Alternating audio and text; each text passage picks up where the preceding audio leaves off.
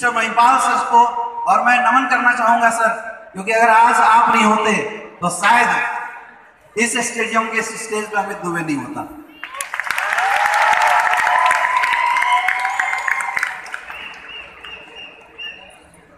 दोस्तों, एक छोटे से गाँव से बिलोंग करता हूँ मैं, झारखंड का एक छोटा सा शहर डालटेगा शहर से।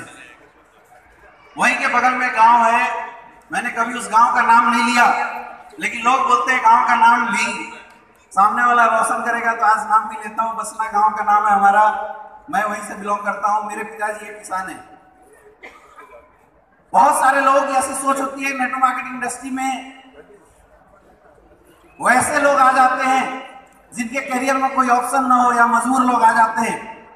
लेकिन दोस्तों, मैं आज आपको बताना चाहूँगा, मेरी ज़िंदगी में अपने करियर को सेट करने के लिए रत्ती भर की क्वेश्चन मार्क कहीं से नहीं लगा हुआ था। मैं गरीब फैमिली से ज़रूर बिलोंग करता था। लेकिन मेरे पिताजी ने ऐसी सीख दी थी।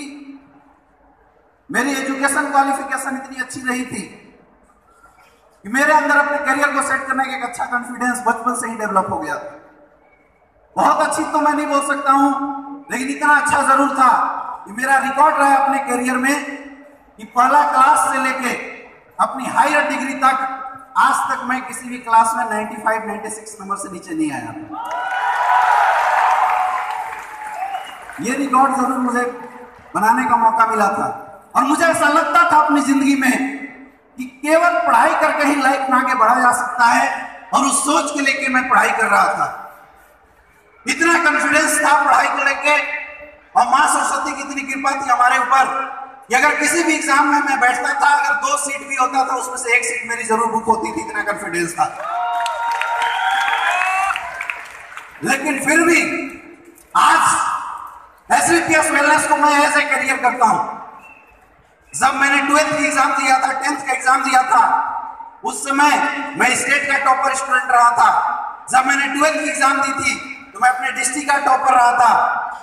ट्वेल्थ के बाद मैंने पहली बार में एमबीबीएस की एग्ज़ाम क्वालिफाई किया था। आप बहुत सारे ऐसे लोग हैं, जिनके घर में अगर कोई लड़का एमबीबीएस डॉक्टर बन जाता है तो सोचते यार, बहुत बड़ी बात होती है। वो एग्ज़ाम क्वालिफाई कर किया था मैं, और पता नहीं ऐसा क्या रूप बना। नेटो मार्केट इंडस्ट्री मुझे अपनी ज़िंदगी में देखने का मौका मिल गया। और देखने के बाद वो बोलते हैं, ऊपर वाला आपको जहाँ भेजना चाहता है, वहीं पे भेज के ही मानता है। तो सुपर पावर की जो ताकत रही होगी इस इंडस्ट्री में मैं आ गया। और दोस्तों, बताना चाहूँगा, इस इंडस्ट्री में जब से आया था, एक ही बात सोचा था, इस इंडस्ट्री में आने के बाद नाम कमाना है। अब बचपन से ही, पता नहीं, अपने जीन के अंदर ऐसी कोडिंग हो गई है जिस भी फ़ील्ड में जाता हूँ, कोशिश करता हूँ, उस फ़ील्ड का टॉपर बनता रहूँ।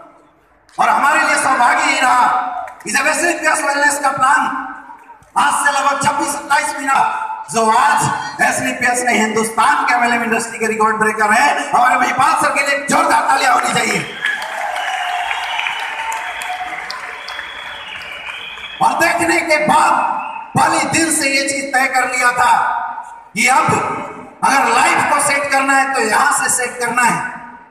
जिस सपने को मैंने सोचा था अपनी ज़िंदगी में, अगर वो सपने पूरे करने तो अब यहाँ से कर सकते हैं और उसका एक ही रीजन था कि मैंने सोचा था कि मैं अपने कैरियर जो मैं एजुकेशन से लेके जाने वाला हूँ, इस एजुकेशन से केवल मैं अपनी कैरियर बदल सकता हूँ, लेकिन इस इंडस्ट्री से मैं एक, दो हज़ारों नहीं, करोड़ों और अरबों लोगों का कैरियर चेंज करता हूँ। इस विजन के साथ काम की शुरुआत किया था।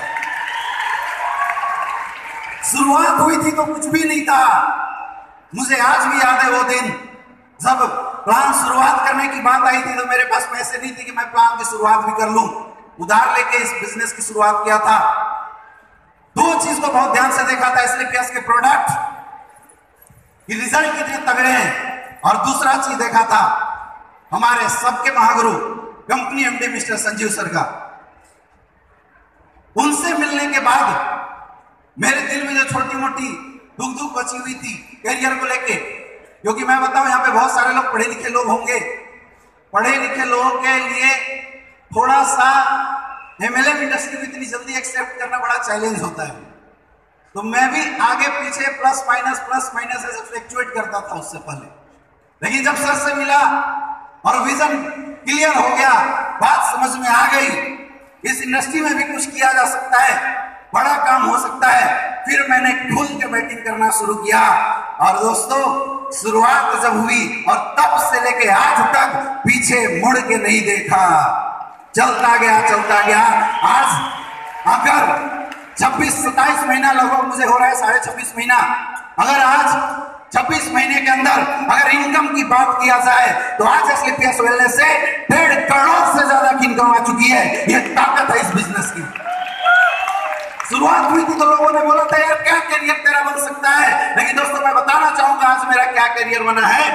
आज मैं काम करूँ या ना करूँ, पूरे हिंदुस्तान में काम कर रहे हैं। आज कोई ऐसा महीना नहीं होता जिस महीने अमित दुबे के अकाउंट में एसलीपीएस वेलनेस से 10 से 12 लाख रुपए से कम की चेक आती हो। ये ताकत है इस सिस्टम की। सारे सपने अगर पूरे हुए तो एसलीपीएस वेलनेस में आने के बाद लगातार पूरे होते जा रहे हैं।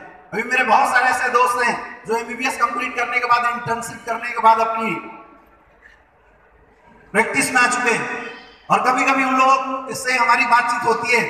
तो एक बंदे को पता नहीं था क्या है, क्या नहीं, वो पढ़ाई से जस्ट निकला था। और उसको पता चला था कि मैंने एमबीबीएस ड्रॉप कर दी थी। और उसने मज़ाक में मेरे पास फ़ोन किया और बोलता है, यार, और भाई तेरा क्या चल रहा है?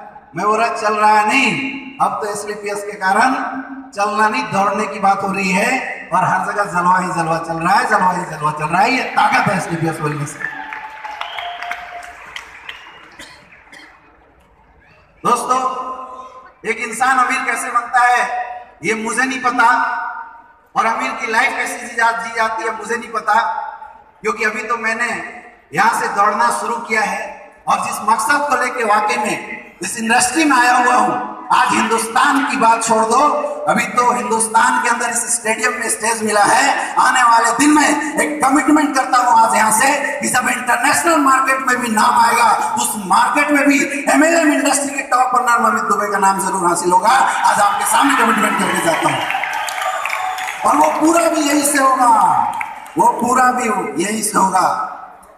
क्योंकि अभी दस बीस लाख में क्या मज़ा नहीं आ रहा है। अब सपना बना चुके हैं। करोड़ों रुपए में जाने का, क्योंकि करोड़पति तो अपन बन गए। अब सफ़र है अरबपति बनने का, और इस अरबपति सफ़र की शुरुआत हो गई है। और मैंने एक ही चीज़ माना है कि आज अगर करोड़पति बनने के लिए दस घंटा मेहनत किया गया है तो अरबपति बनने के लिए अपन लोग बीस बीस घंटा चौबीस चौबीस घंटा भी काम करने से कभी पीछे नहीं हटने वाले हैं। और शुरुआत हो चुका है। शुरुआत हो चुका है। मुझे नहीं जीना लग्जरी लाइफ मुझे नहीं रहना। अलग लाइफ में मैं तो काम करने के लिए पैदा हुआ हूँ, मेहनत करने के लिए पैदा हुआ पंडित जी भी मेरा हाथ देख के बोलते कि बेटा, तेरे हाथ में किस्मत नहीं है। तो जब भगवान ने किस्मत नहीं दिया, जब कर्म से ही सब कुछ करना है तो एक बात तय है कि इतना कर्म कर देंगे, इतना कर्म कर देंगे, इतना कर्म कर देंगे ऊपर वाला भी लास्ट में परेशान होगा कि यार, इसकी किस्मत बना दे, कर्म बहुत ज़्यादा कर दिया।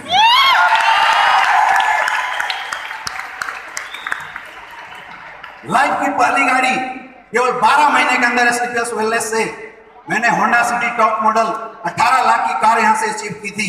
लेकिन अभी मज़ा नहीं आ रहा था, क्योंकि अपने साथ के बहुत सारे लोग लग्जरियस गाड़ी में आ चुके थे। और मेरा रिकॉर्ड है, क्योंकि गुरु जी लोग ऐसे मिले जो रिकॉर्ड धारी और रिकॉर्ड पे रिकॉर्ड बना रहे हैं। तो मेरा भी सपना जगह लग्जरियस कार में आने का। मैंने सोचा, यार जब लग्जरियस में एंट्री मारना ही है तो ऐसी एंट्री मारा जाए। कि जहाँ को क्रॉस करना थोड़े समय के लिए किसी को सोचना पड़े और ये सोच और ये विजन के कारण, दोस्तों, अगली कार, अभी मैं ले तो इसी महीने लेता, लेकिन अगली कार जनवरी में मेरी आने वाली है जगवार एक्सेल डेढ़ करोड़ की कार लेके आने सिस्टम से।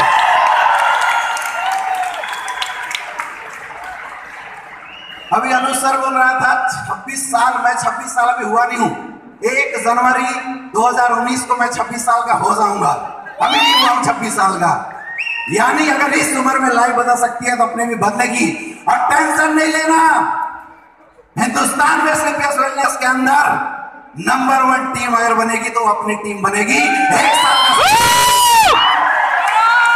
बस आप लोगों का साथ चाहिए देने के लिए तैयार हो। तैयार हो तो